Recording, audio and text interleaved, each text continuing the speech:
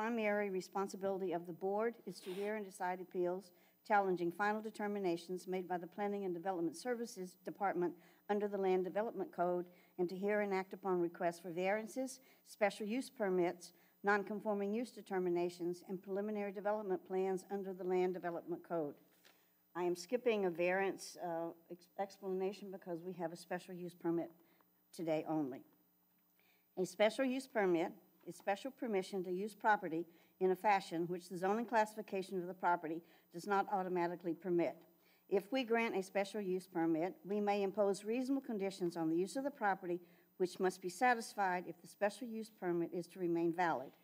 Unlike a change in the zoning classification, as a general rule, a special use permit applies only to the specific use requested in the application for special use permit. The standards we use in deciding whether or not to grant a special use permit are listed in section 45-1083 of the Land Development Code. Procedurally, we will call each case by name and number. A member of the staff will then briefly explain to us the nature of each request. We will then take any comments from the applicant or their representative, followed by any public comments concerning the request. Please direct all comments or statements to the board and not to other people in the audience. Before speaking, we will ask each person to be recognized, come forward to the lectern, and, and identify his or his, his or herself by name and address. After all persons wishing to speak have been heard, we will entertain a motion from the board. The motion will be voted on by the board members and become our final order. Any decision made by this board can be appealed to the circuit court. However, any appeal must be filed within 30 days after the Board of Adjustments has rendered the final order which is being appealed. Are there any questions? Okay, before the first case is heard today, all those wishing to speak need to be sworn in. So will the notary please administer the oath?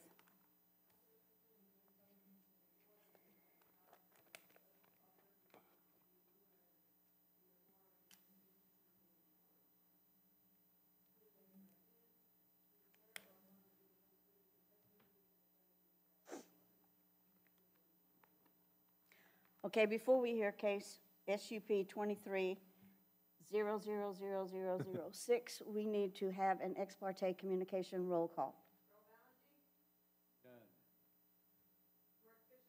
No. No. No.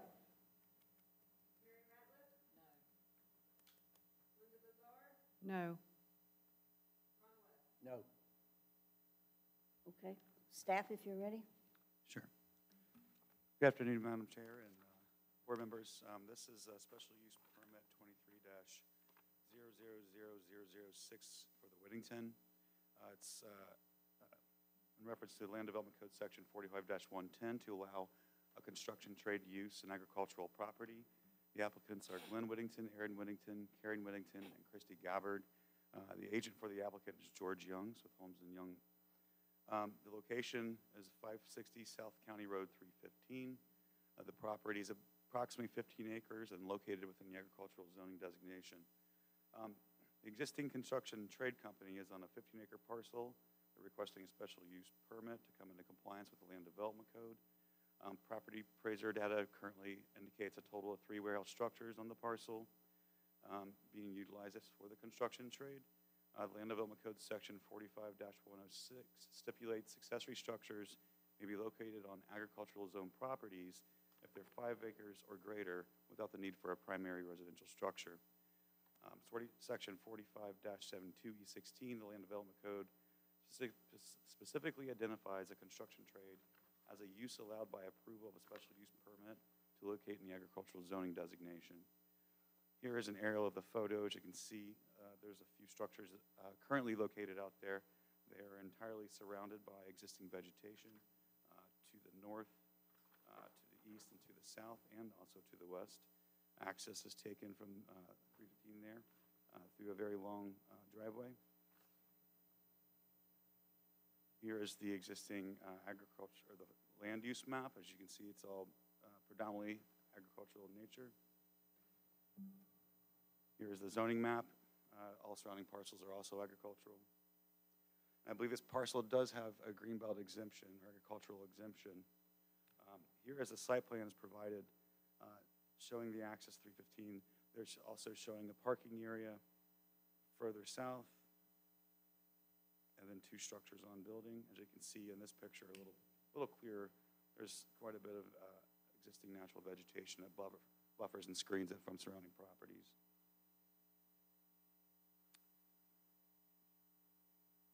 So there are no supplemental standards in the Land Development Code for construction trade. However, the applicant is uh, currently screened from view by the existing vegetation. Uh, Further expansion of this use uh, would require approval through uh, an amended special use permit that would also be heard before the board. Um, Staff finds the application and proposed use meets the criteria, all the criteria for a special use permit on which this should be uh, reviewed by this board as. Um, And we recommend approval with the, just the one condition that the applicant will be required to meet all site development standards stated in the Land Development Code and any conditions added by the board. And that concludes my presentation. I know that uh, there's some technical difficulties. Uh, People out in the crowd cannot see the, the uh, presentation, however, I I believe you guys can. So if none of you are able to see it, let me know. I can print this out or explain further. But the agent for the applicant is here to answer any questions, and so is staff. Any questions for staff? Mr. Fisher? Kind of do.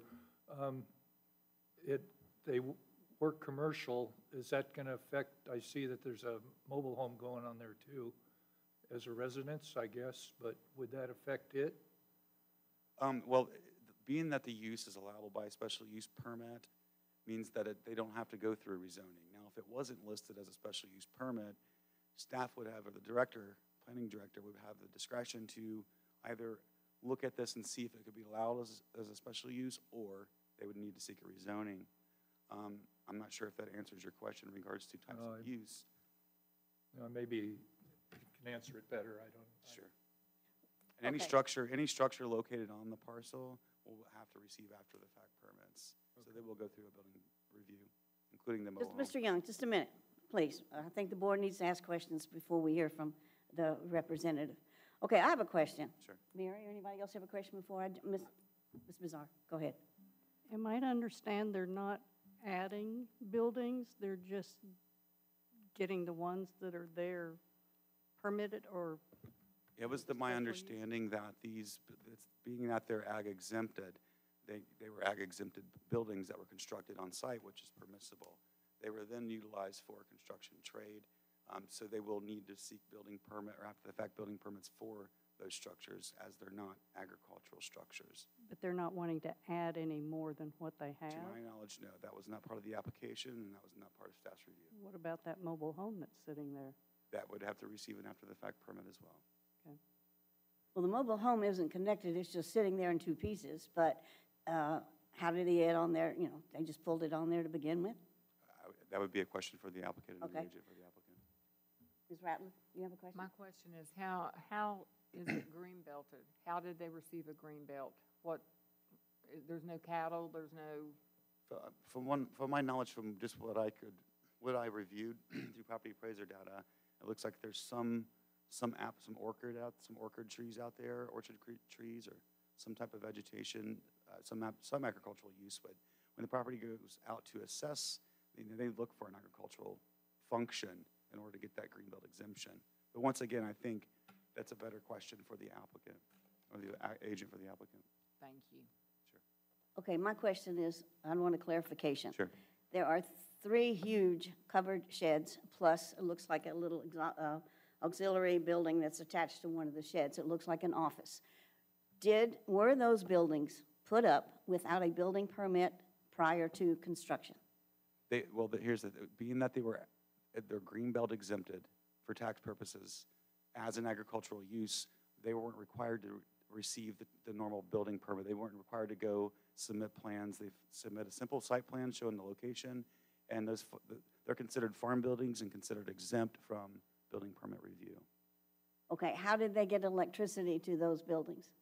That I'm unsure of. Um, And that's, like I said, it's a question better for the agent for the applicant. However, you know, once this is approved, I think they're trying to seek all the appropriate avenues to bring their property into compliance and seek those permits. It just boggles my mind that those three buildings can go up without any kind of permit, period. I mean, they're huge.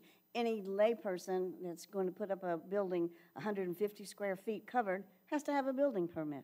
Well, essentially, that's true, but when, when you have an agricultural exempt property, those buildings are considered farm buildings and, and intended to exempt farm buildings for the storage of tractors, lawnmowers, for tending to the, you know, the rural land, the farmland. So- when they, when, once they, that use has changed, at that point, that's when we say, okay, now you need to pull a building permit for this because it's Okay. not intended for agricultural purposes. all right, I don't think it's been used for agriculture. I'm- it was never, okay, I won't, s- I'll keep my mouth shut. No, you're Okay, all right, bef- anybody else have any questions for the staff? Okay, before we hear the first case, let's do a site visit roll call, please. Yes. Yes. Yes. Yes, Yes. Yes. Yes. Yes. okay, the agent for this uh, application is Mr. George Young. Would you like to come forward and present? For the record, give, please state your name. I know your, your address is exempt. George Young, I'm the agent for the applicants. Uh, Without the use of all, of our fine uh, IT equipment, I don't have a major presentation. I think what you were presented by the staff is probably adequate to answer any questions you have. Um, To back up a little bit and try to put some of you at ease. Um, This land was initially used as farmland. It- Part of it was for hay cutting, part of it was running cattle. Part of it actually is, has an apple orchard on it. It's hard to see on your photographs, but there's a, an apple orchard on it. These buildings originally were utilized for that agricultural use. That's what they were intended for. Um, so they were done under the agricultural exempt. You can, it's a, it's a simple exemption. I got a barn on my property, uh, on my agricultural property where all the tractors are parked, same thing. You can run power to it, so you can get permit, permits to do that. Now, what happened was Mr. Whittington's business, he's in the commercial electric business, was located closer to the highway, and his wire, his equipment, his tools, everything was going missing. People were stealing.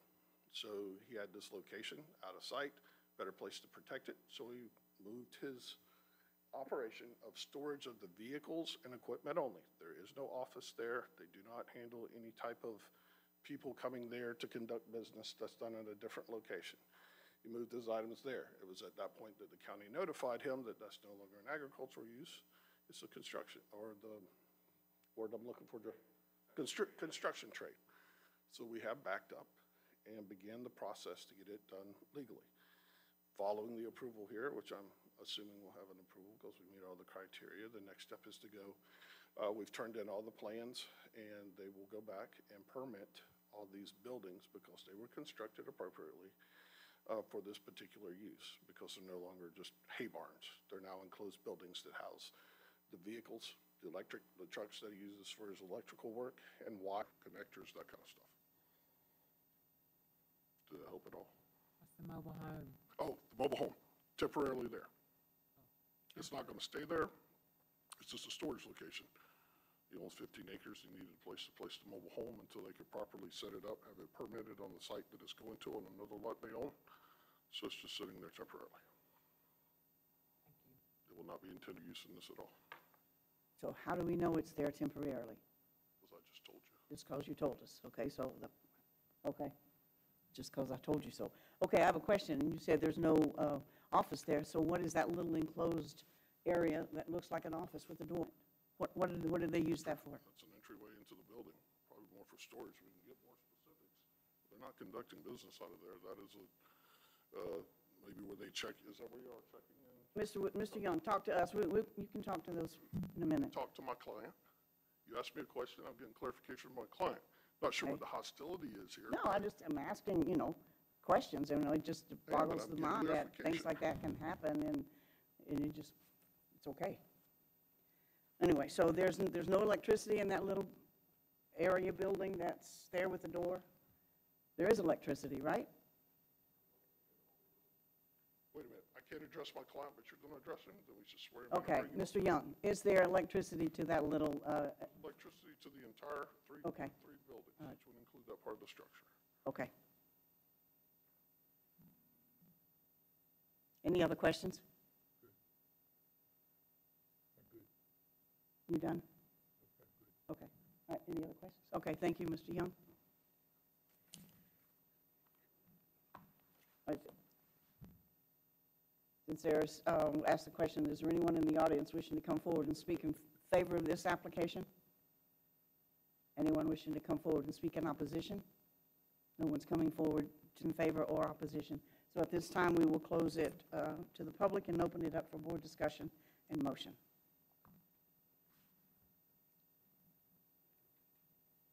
No discussion. No discussion, guess motion.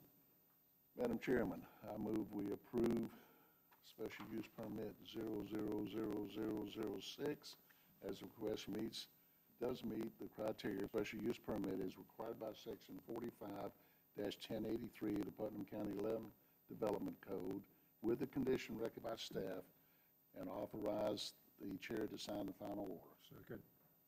Uh, We have a motion second to approve special use uh, per- permit 23-000006. Any further discussion? All those in favor, please indicate by raising your right hand. One, two, three, four, five, six, seven. All opposed? Motion carries seven zero. Okay, good luck in your endeavor. There's a 30-day appeal process. Thank you. Okay, do we have any old business? Just people, Any new business? yes, that's the news business. I had a lot of trouble finding this place, and I've talked to other people who also had problems finding it. Pardon? There was no sign, no sign. Yeah, I was trying to get to that. Now, you go out there, there was no green signs anywhere, there was no 911 address anywhere, There's no mailbox anywhere. There is. The only way I found it was I had looked at the uh, GIS map from the uh, property appraiser's office and saw a crooked driveway. So I just drove up the crooked driveway and there it was. Well, there is a, uh, I had a difficulty finding it, but there is a 560. It's black lettering on a black fence.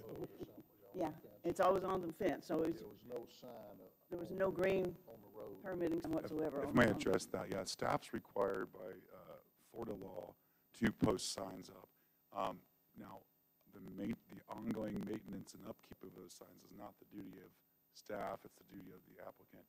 The signs we've been using, we've, we've had some issues with when weather, when there's any kind of, uh, you know, weather we get, they, they just fly away. So I'm looking into getting some better signs for us. Um, I asked about it last week, but this has happened several times when we've had some inclement weather, um, where the signs have flown off and people are like, where's the sign at? And by Florida statute, you know, as long as notices go out, as long as staff has made an effort to provide, um, some type of notification or public notification, we're covered by that. But like I said, we still, I require our staff to go the signs. I was, I personally put the sign out, but I think it lasted a total of two days before we got hit by some weather. I go by there every day. I never saw it, so it must have lasted a day. Yeah, you, I mean, you probably saw, you probably see a wood stake up, maybe, that's No, probably there's no it. stake. It was nothing, nothing. They just fly off, yeah. So I'm trying to get, get us to order some different types of signs and new signs, because these, they just rip really easily. Yeah, if the Staples. I wind put blows- Twenty staples in each sign, They're gone. yeah. I figured as much with the weather. Well, with the traffic on that road, as fast as it got, probably blew off as soon Yeah. as you left. Okay. That makes it even more difficult when you're sitting there looking for something and you're, you're driving along at, uh, 25, 35 miles an hour and everybody else is doing 55. That is not good. Yeah. When somebody's around a bumper. I just pull off to the side of the road, put my ticker on and wait for them to go past me, so. Yeah, we've had this issue with the signs for, with several, so I'm looking into getting some better signs, some more durable signs. Oh, Pole's still there, but Thank there was nothing. Yeah. Okay, any other new business? Oh, Mr. Pierre, I thought you were going to talk to us. No? Okay. All right. All right, motion to adjourn. So moved. We stand adjourned. Early. We're early.